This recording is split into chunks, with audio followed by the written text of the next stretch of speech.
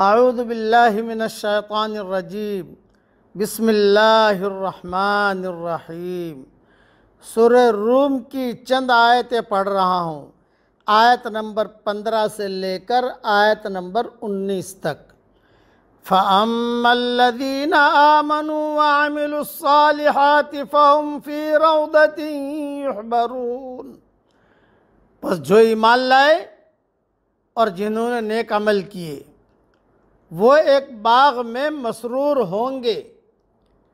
व अम्मल्लज़ीन कफ़रू व कज़्ज़बू बिआयातिना व लिक़ाइल आखिरा। व लिक़ाइल आखिरति फ़उलाइक फ़िल अज़ाबि और जिन लोगों ने इनकार किया और हमारी आयतों को और आखरत के पेश आने को झुटलाया तो वो आज़ाब में पकड़े हुए होंगे। फसुबहान हीन तुम सोन न तुस्बिहून। बस तुम पाक अल्लाह की याद करो। जब तुम शाम करते हो और जब तुम सुबह करते हो। वलहमद फ़िसमावाति वल वहीन तुजरून।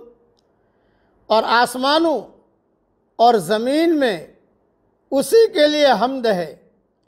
और शाम के पहर में और जब तुम जहर करते हो, युखरजुल हय मिनल मय्यत व युखरजुल मय्यत मिनल हय व युहयिल अर्द बाद मौतिहा व कज़ालिक तुखरजून।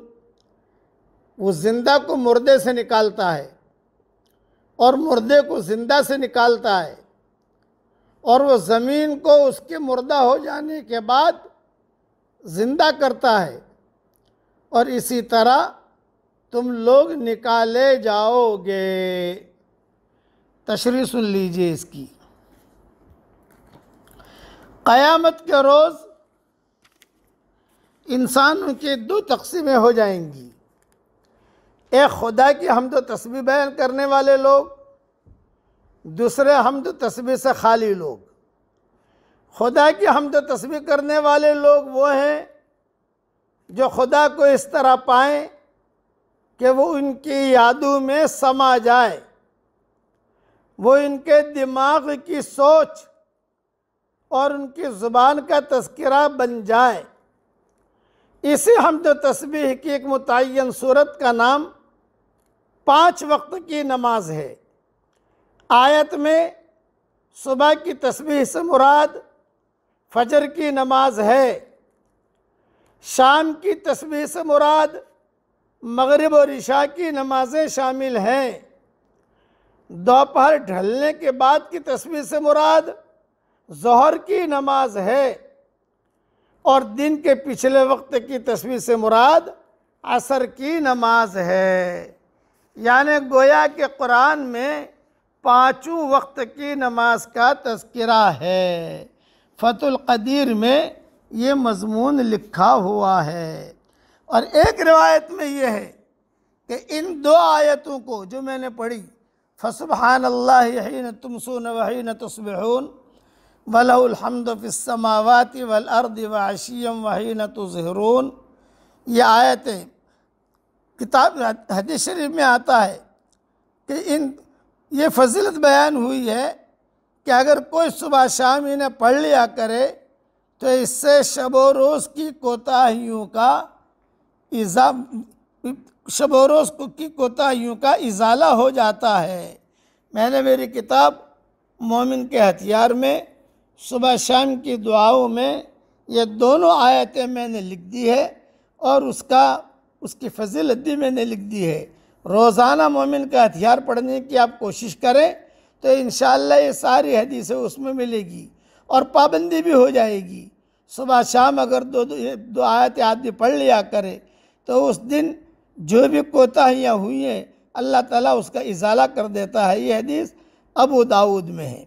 और ये जो कहा यखरजलमैत यखरजलमैत मिनलहई कि ज़िंदे को मुर्दे से निकालता है मुर्दे को ज़िंदे से निकालता है। क्या मतलब? जैसे अंडे को मुर्गी से। अंडा मुर्दा, मुर्गी ज़िंदा। तो मुर्दा से जिंदे को निकाला, मुर्गी को अंडे से। कि मुर्गी ज़िंदा और अंडा मुर्दा, ये करने वाला अल्लाह है।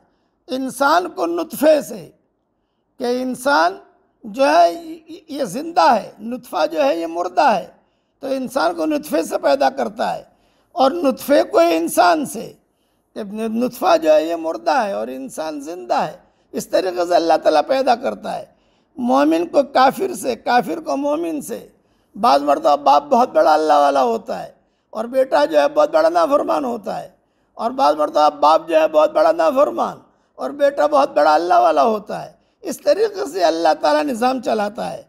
इस, इसलिए इसकी तशरी मैंने थोड़ी सी कर दी। बाकी तफसील इन रियाज तफसर में देख लेना।